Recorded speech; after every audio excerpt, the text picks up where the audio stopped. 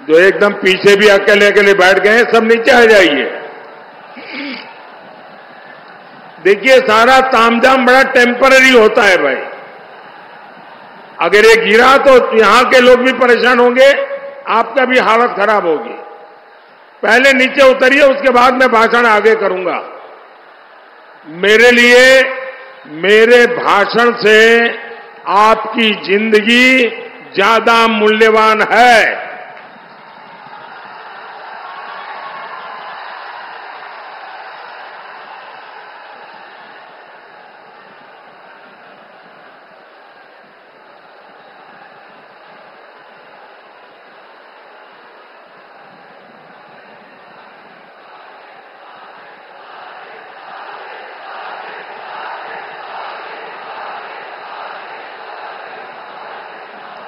जो लास्ट में दो लोग कंबे पे नीचे आओ भाई। वो जरा पीछे एकदम आखिर में नीचे आओ। ये सब नीचे आइए भाई।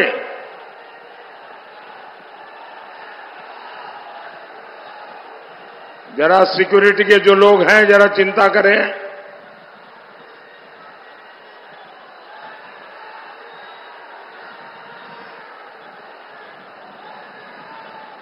आपको नीचे आना पड़ेगा भाई। आपको नीचे आना पड़ेगा। मैं मैं आपकी ज़िंदगी को कुछ भी हो जाए, ये मेरे लिए बर्दाश्त नहीं होगा भाई। आप मेरे अपने हैं, मैं आपको कैसे परेशान देख सकता हूँ?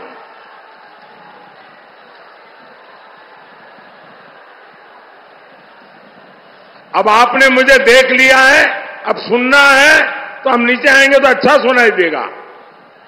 देखिए, जगह छोटी ही पड़ गई है। मैं देख रहा हूँ बाहर भी लाखों की तादाद में लोग खड़े हैं। वो शायद सुन भी नहीं पाते होंगे। लेकिन ये नहीं करने दूँगा मैं।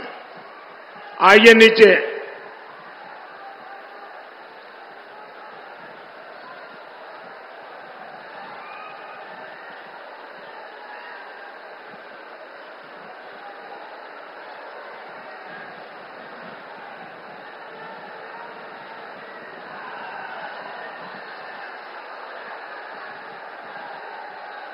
शाबाश।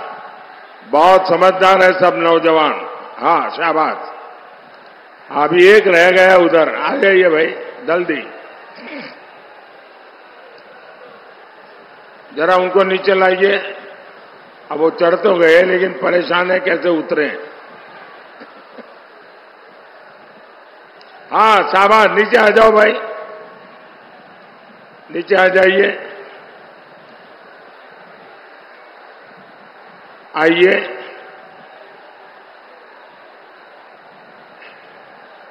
जिन नौजवानों को मैंने नीचे उतारा है, अगर उनको, उनके स्वमान को अगर कोई चोट पहुँची है तो मैं उनकी क्षमा माँगता हूँ। लेकिन आप सब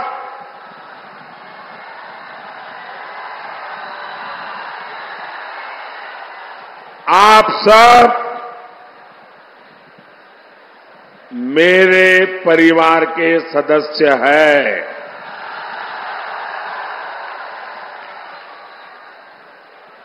और इसलिए इतने प्यार से परिवार के सदस्य को कहने का मेरा भी तो हक बनता है ना।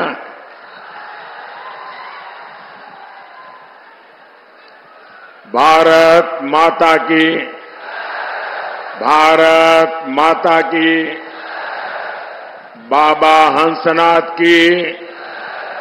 बाबा हंसनाथ की। बाबा महेंद्रनाथ की।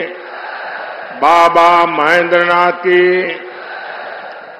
ई पवित्र धरती पर हम रउआ लोगन के वंदन, अभिनंदन करतानी।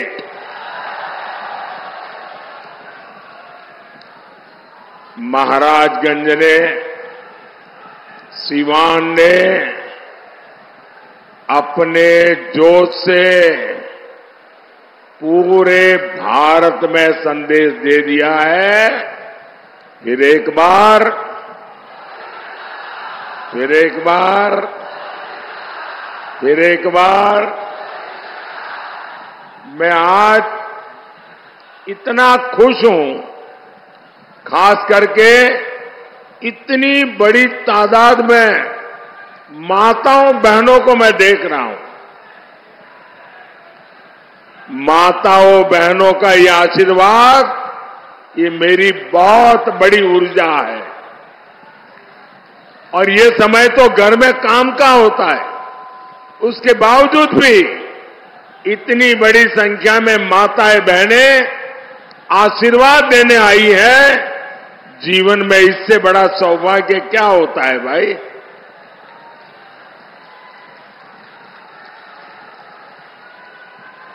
साथियों, मेरा ये बहुत सौभाग्य है कि इन दिनों मुझे देश के कोने कोने में देशवासियों के दर्शन करने का सौभाग्य मिला है। पूरे देश में मैं मातृशक्ति का जो जज्बा देख रहा हूँ, माताओं बहनों का जो प्यार देख रहा हूँ, हमारे नौजवानों का जो उत्साह देख रहा हूँ, गाँव हो, गरीब हो, किसान हो, एक प्रकार से सारा देश देश के उज्जवल भविष्य के लिए संकल्पबद्ध हो चुका है। और मैं भी आपको गारंटी देता हूँ, मैं आपके लिए दिन रात मेहनत करूँगा। पहले से भी ज़्यादा मेहनत करूँगा।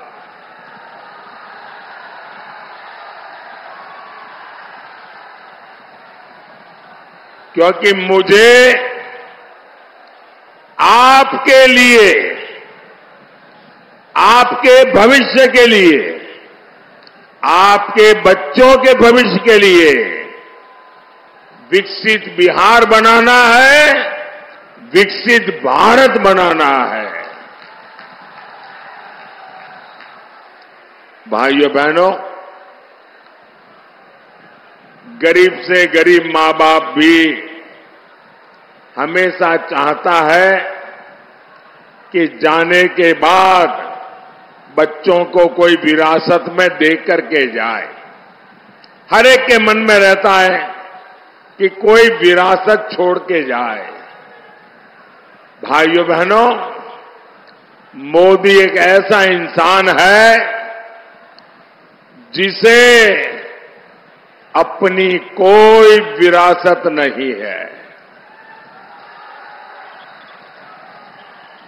मेरे लिए तो आप ही मेरी विरासत है। आप ही मेरे वारिस है। मेरा और कोई वारिस नहीं है। और इसलिए मुझे आपका और आपके बच्चों का उज्जवल भविष्य बनाने के लिए अपने आप को खपा देना है।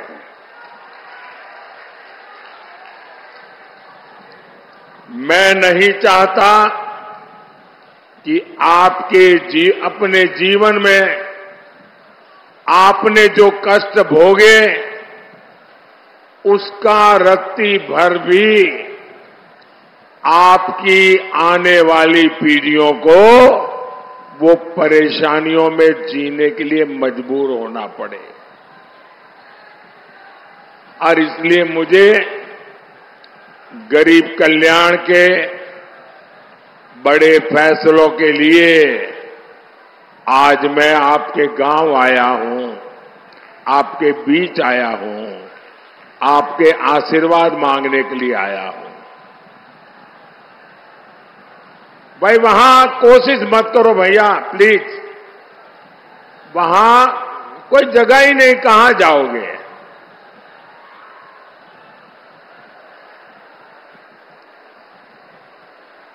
अब आप मुझे देख नहीं पाओगे, सुन सकते हो जी। ये स्क्रीन पर कुछ दिखाई दे तो देखिए आप। मैं जानता हूँ, संख्या बहुत ज़्यादा है। आपको तकलीफ़ होती होगी। मैं आपकी तकलीफ़ लिए, मैं खुद क्षमा माँगता हूँ। लेकिन आप जहाँ है, वहीं रहिए। आगे आने की कोशिश मत कीजिए भैया। मेरा तो सौभाग्य है कि इतना कष्ट उठा करके आप हमें आशीर्वाद देने आए हैं। भाइयों बहनों, आपके उज्जवल भविष्य के लिए देश को केंद्र में फिर एक बार मज़बूत सरकार चाहिए। भाइयों और बहनों जैसे जैसे चार जून पास आ रहा है, मोदी के लिए इंडी वालों की गालियों और बददुआओं की संख्या जरा बढ़ती ही जा रही है।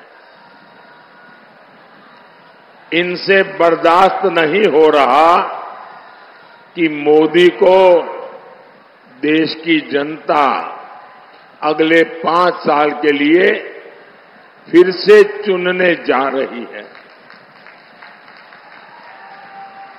जिन्होंने बिहार को जंगल राज दिया, नौजवानों को पलायन दिया, परिवारों को गरीबी दी, जिन्होंने बिहार के लोगों को मारा, तड़पाया, माताओं बहनों का जीवन बर्बाद किया जो लोग आकंठ भ्रष्टाचार में डूबे हैं, जिन्हें अदालत ने घोटाले का दोषित साबित किया है, इन लोगों की आँखों में मोदी चौबीसों घंटे खटकता है। लेकिन इनकी लाख कोशिशों के बाद भी मैं आपकी सेवा में डटा रहूँगा।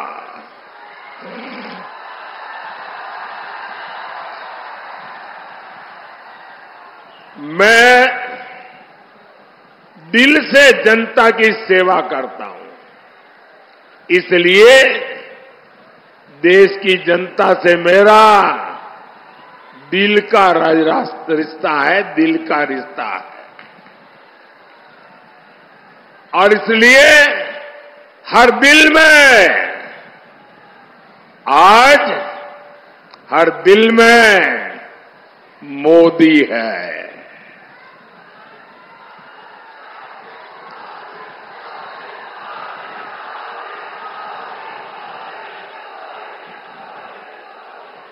और तभी तो पूरा देश कहता है, फिर एक बार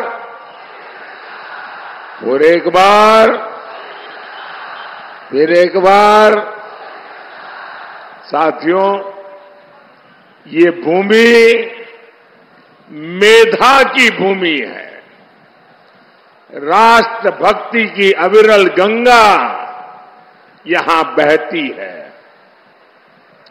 राजेंद्र बाबू जैसे अनेक सपूत इस धरती ने देश को दिए हैं।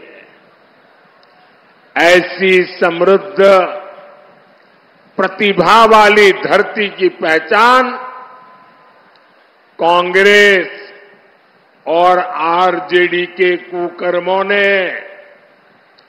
रंगदारी टैक्स के लिए बना दी थी। इंडी वालों ने पहले तो यहाँ से उद्योग व्यापार का पलायन करवाया। और अब ये लोग बिहार के परिश्रमी साथियों का अपमान करने में जुटे हैं। पंजाब में कांग्रेस के एक नेता है। दिल्ली में कांग्रेस के शाही परिवार के ये खासम खास है। पंजाब के कांग्रेस के नेता कहते हैं कि बिहार के लोगों को पंजाब में बहिष्कार करना चाहिए। ये कांग्रेस वाले नेता बोल रहे हैं। और आरजेडी वाले इनके साथ यहाँ आपसे वोट मांग रहे हैं। वो कहते हैं कि बिहार के लोगों को ना पंजाब में घर खरीदने देना चाहिए, ना ही पंजाब में बिहारियों को कोई अधिकार देना चाहिए। बिहार के लोगों के लिए इतनी नफरत इन लोगों के दिल दिमाग में भरी पड़ी है। क्या आपने कांग्रेस के शाही परिवार से सुना कि भाई ये इनका मंत्री बोल रहा है, गलत बोल रहा है। उनका नेता बोल रहा है, गलत बोल रहा है। ऐसा नहीं बोलना चाहिए। नहीं बोल रहे यहाँ आरजेडी के लोगों ने तो कान में रुई ठूस ली है, रुई।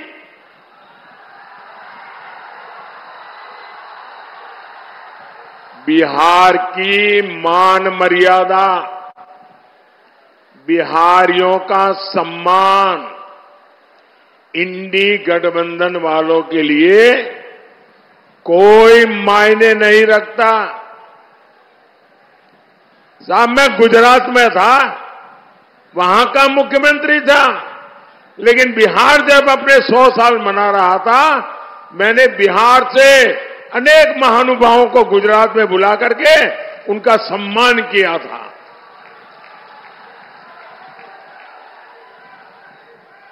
जब डीएमके के लोगों ने बिहारियों को गाली दी, जब तेलंगाना के कांग्रेस के नेता ने गालियाँ दी, तब भी ये शाही परिवार अपने होठों पे ताले लगा करके बैठ गया था। क्या इन्हें जिन्होंने बिहार का अपमान किया, जो दिन रात बिहारियों का अपमान करते हैं, क्या ऐसे कांग्रेस और उनके साथियों को, आरजेडी और उनके साथियों को आपका एक वोट भी मिलना चाहिए क्या? पूरी ताकत से बताइए, एक वोट भी मिलना चाहिए क्या? एक वोट भी मिलना चाहिए क्या?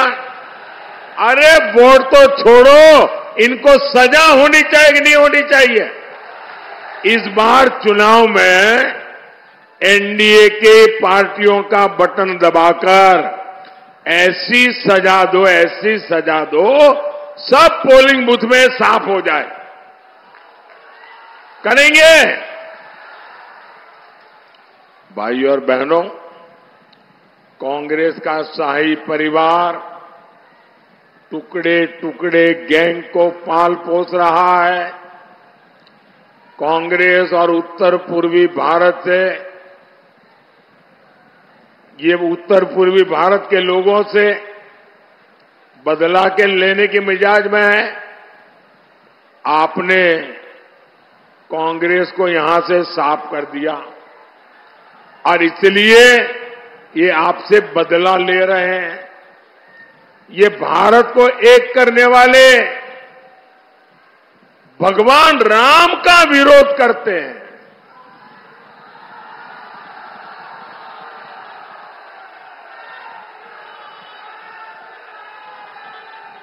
अयोध्या में राम मंदिर बना। आपका गौरव बढ़ा कि नहीं बढ़ा? आपका माथा ऊँचा हुआ कि नहीं हुआ? आपको संतोष हुआ कि नहीं हुआ? रामलला को अपना घर मिल गया। आप खुश हुए कि नहीं हुए? ये आरजेडी और कांग्रेस वाले दुखी है, बताओ। जिस कांग्रेस आरजेडी की राजनीति भारत के टुकड़े टुकड़े करने वाली है, उसको साफ़ करने की ज़िम्मेदारी महाराजगंज की भी है और सिवान की भी है। भाई और बहनों, कांग्रेस, आरजेडी और उसके साथियों ने हमेशा इस देश को पीछे ले जाने का खेल खेला है। ये खुद लाखों करोड़ के मालिक हो गए और जनता रोटी, कपड़ा, मकान के लिए जूझती है। इंडी गठबंधन का मंच, राजनीतिक मंच नहीं, लाखों करोड़ों के घोटालेबाजों का सम्मेलन है। भ्रष्टाचार का अता पता उसका नाम है इंडी गठबंधन। इनके मंच पर करीब 20 लाख करोड़ रुपए के घोटालेबाज एक साथ बैठते हैं। जब ये इकट्ठा होते हैं तो इनमें तीन बुराइयाँ तीन बुराइयाँ एकदम साफ़ नज़र आती है। कोई अपवाद नहीं है। ये तीन बुराइयाँ, ये इंडी गठबंधन के सब में समान है। ये तीन क्या बुराइयाँ हैं? ये इंडी अलायंस वाले गोर गोर कम्युनल है। शत प्रतिशत सांप्रदायिक है। दूसरा, ये इंडी अलायंस वाले गोर जातिवादी है। शत प्रतिशत जातिवादी है। और तीसरा, ये इंडी अलायंस वाले गोर परिवारवादी है। शत प्रतिशत परिवारवादी। अपने बेटे, बेटी के सिवा कुछ करना ही नहीं। ये वो लोग हैं जिनकी सरकारों में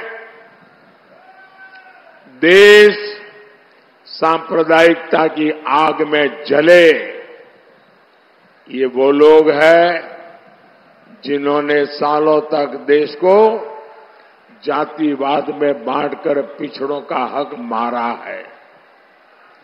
ऐसे लोग बस देश बांट सकते हैं, ऐसे लोग देश का खजाना लूट सकते हैं, लेकिन देश को आगे नहीं ले जा सकते। साथियों, मोदी ने अपने 10 साल में 25 करोड़ गरीबों को गरीबी से बाहर निकाला है।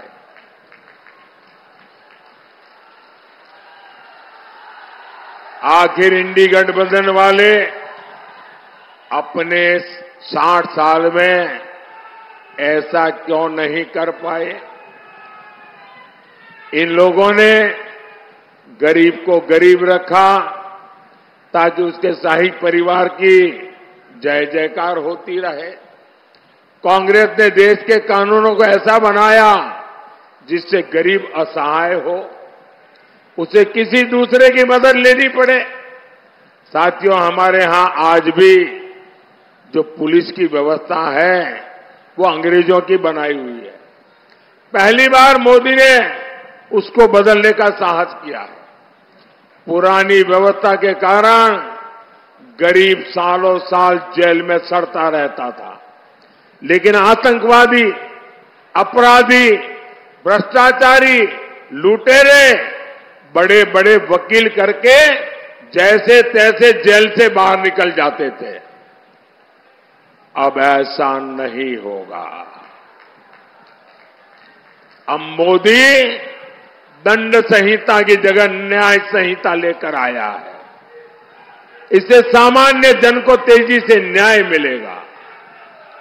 अब आतंकियों का, आपको लूटने वालों का बचना और मुश्किल हो जाएगा।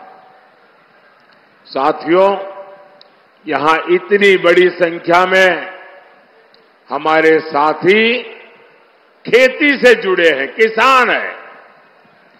दस साल पहले तक एक भी रुपया किसानों को कांग्रेस सरकार से मिलता था क्या? पीएम किसान सम्मान निधि से सीवान के किसानों को अब तक करीब 1200 करोड़ रुपए मिल चुके हैं। सारण के भी किसानों को 1500 करोड़ रुपए मिले हैं। सिर्फ़ पाँच साल में ही इतना पैसा मिला है, वो सीधे सीधे उनके खाते में गया है। भाई और बहनों, गरीब का ये बेटा आज आपके जीवन को आसान बनाने के लिए दिन रात मेहनत कर रहा है। आज करोड़ों गरीबों को मुफ़्त अनाज मिल रहा है। आज घर घर नल पहुँचा है, बिजली पहुँची है टॉयलेट हुआ है। मोदी ने सस्ता सिलेंडर बहनों तक पहुँचाया है। मुझे बहनें बताती हैं कि मुफ़्त इलाज की योजना से उनको बहुत फ़ायदा हुआ है। साथियों, पक्का घर तो गरीब का सबसे बड़ा सपना होता है। अभी तक बिहार में करीब 40 लाख पक्के घर गरीबों को मिल चुके हैं। और मेरा एक काम करोगे?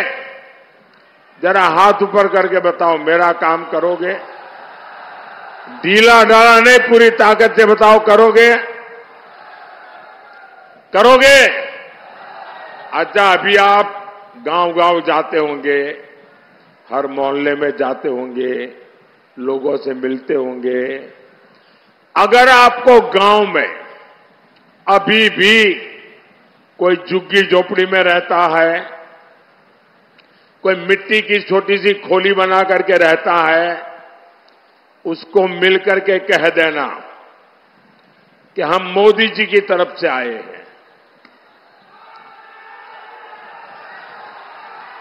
उनको कह देना कि हम मोदी जी की तरफ़ से आए हैं और चार जून के बाद तीसरी बार जब मोदी की सरकार बनेगी तो जिनका घर अभी कच्चा है, मोदी उसको पक्का घर देगा। मेरी तरफ़ से बता दोगे? मेरे लिए तो आप ही मोदी है। आप बता देंगे ना, काम हो जाएगा। साथियों मोदी ने तीन करोड़ नए घर बनाने की गारंटी दी है। इसलिए आप बता दीजिए। और उसको कहिए जो तीन करोड़ घर बनेंगे ना, उसमें उस परिवार का भी घर होगा। और आप ये भी जान लीजिए, ये जो आपको घर मिलेगा उसमें घर की रजिस्ट्री, घर की महिला के नाम पर होगी, मकान की मालकन महिला होगी। भाइयों और बहनों, यहाँ हमारी बहुत सारी बहनें सखी मंडलों से, दीदियों के समूह से भी जुड़ी है। महिलाओं के ऐसे सभी समूहों के लिए आने वाले पाँच साल समृद्धि लेकर आने वाले हैं। बहनें, ड्रोन पायलट बनेगी और ड्रोन से खेती करके कमाई करे, ये योजना मोदी ने बनाई है। मोदी की गारंटी, तीन करोड़ बहनों को लखपति दीदी बनाने की है। जब माताओं बहनों की आय बढ़ेगी तो परिवार की, गाँव की खरीद शक्ति बढ़ेगी। यही तो विकसित भारत का रास्ता है। साथियों आपको वोट सिर्फ़ एमपी चुनने के लिए नहीं है।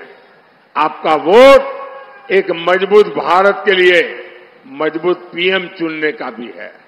और इसलिए महाराजगंज से हमारे साथी जनार्दन सिंह सिगरीवाल जी, सिवान से बहन विजय लक्ष्मी जी और गोपालगंज से आलोक कुमार सुमन जी को ज़्यादा से ज़्यादा वोटों से जिताना है। जिताएँगे घर घर जाएँगे, ज़्यादा मतदान कराएँगे अच्छा मेरा एक काम करेंगे, मेरा एक काम करेंगे। क्यों ठंडे पड़ गए भाई? इनके लिए तो बड़े उत्साह से बोल रहे हो। इनके लिए बोला तो हाथ ऊपर कर दिया। मेरे लिए बोला तो हाथ नीचे हो गया। मेरा एक काम करोगे? पक्का करोगे? यहाँ से ज़्यादा से ज़्यादा घरों में जाना, ज़्यादा से ज़्यादा परिवारों में मिलना। और सबको जाके कहना कि अपने मोदी जी आए थे, मोदी जी ने आपको जय श्री राम कहा है। मेरा जय श्री राम हर घर में पहुँचा दोगे, हर परिवार में पहुँचा दोगे। बोलिए, भारत माता की, भारत माता की, भारत माता की बहुत बहुत धन्यवाद।